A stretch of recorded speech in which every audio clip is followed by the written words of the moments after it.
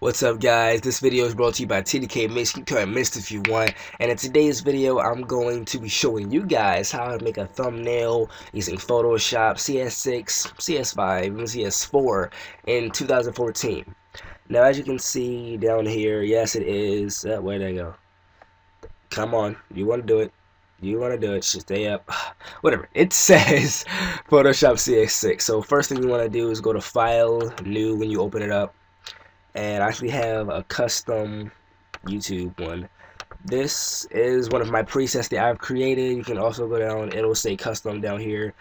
But I'm gonna go back to my preset real quick and you wanna copy these down with 1280 and height 120. Now the resolution doesn't really matter in my opinion, but here's what does matter. You don't want a white background or background color. You wanna try to get a transparent you know, background content. So click OK and you'll see this. Let's come on. Load up. You can do it. Believe you. Okay, there you go. So, first off, there are a lot of different things you can do with the background using where you at gradient tool, which is also control or just hit G.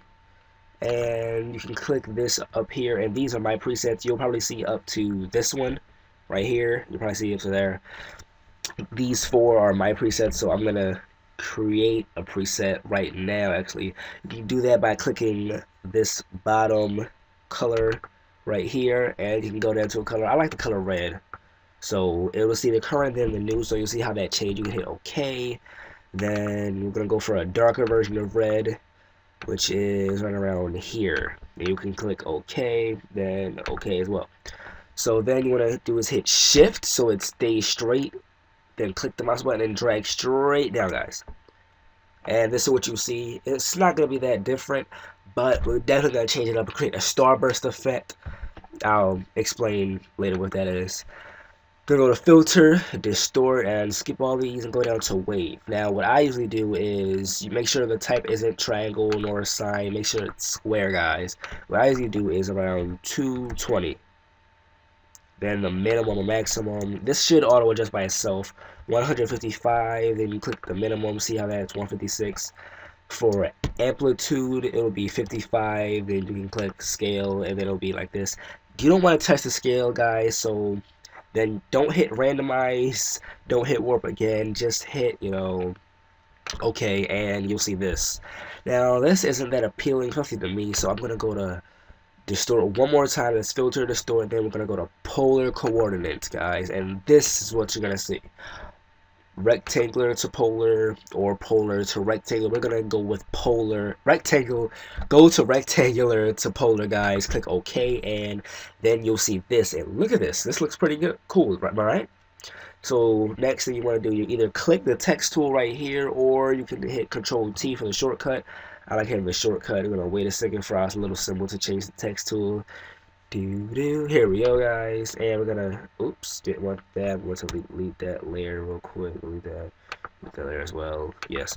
And you're gonna go to text tool, and you're gonna drag the text down, down, down, down, down. This is all your personal preference, guys. I'm gonna make the text actually. Um, what should I make the text? Uh, how about 210? Boom. Uh, that's too big in my opinion. So she said. 180. Boom.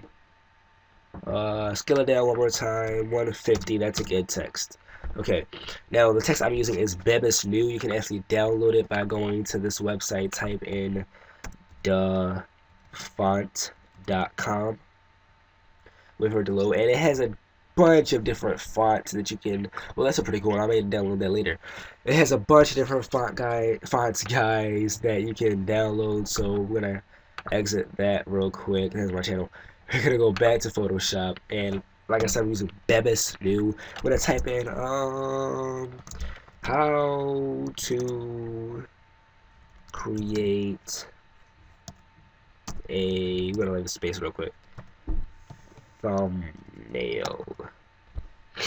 Spell create wrong. Whoa.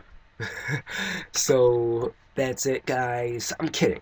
So what you want to do now is make this look all fancy, right?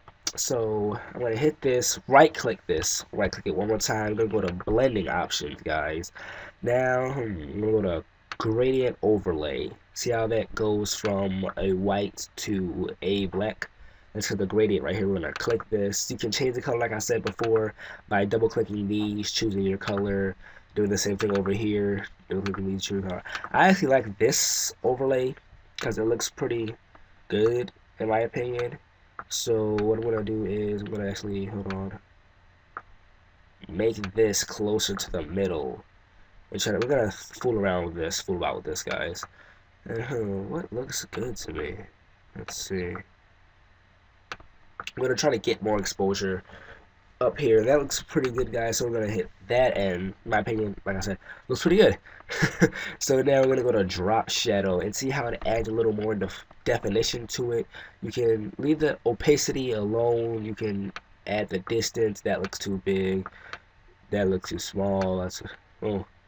And we're to go 12 or maybe even 10. That looks about good, guys or you can skip the drop shadow and add something called where'd it go? A stroke here it is. That's just so it has little lines over it. You can pick the color for the stroke the size again you don't want it being too big or that'll happen. Don't want it being too small you can't notice the stroke so a good stroke in my opinion would be around 8 so actually I like the drop shadow and this looks perfect to me. So we're gonna drag this back here we're gonna click OK so hitting V, you'll get your selection or move tool, and you're just gonna move the text, try to center it right there, and that looks. You'll probably be wondering why is the how to create a then there's a big space then thumbnail guys, and well that's just because we're gonna add something. Now you can download these via you know Google Google.com. No, no, I'm gonna go. Uh, I don't want to search up. Um, you can search up anything really like YouTube, logo, PNG. See, you can see any PNG logo. PNG is really important, guys, because it has that. See how? Wait for it to load. Oh, whoa, whoa, whoa! Where'd it go? Whoa. Where'd it go? Where'd it go? Mm, don't like that. Don't like that. Anyway, I'm gonna stop doing that. so I'm gonna go to file open. These are thumbnails that I recently created. I'm gonna go to my where'd you go? Library. Open my pictures. When I search up YouTube. Do I have it? Do I have it? Do I have it? Yep YouTube I can see PNG so we're gonna take that real quick. And as you can see this is what I wanted to get for the PNG because it has a transparent layer. So what we're going to do is going to drag that over here, hold on to it, then drop it down, and you can see, whoa, that's a giant layer. Going to delete that really quick, guys. So we're going to resize this image. This is probably going to be a lengthy tutorial.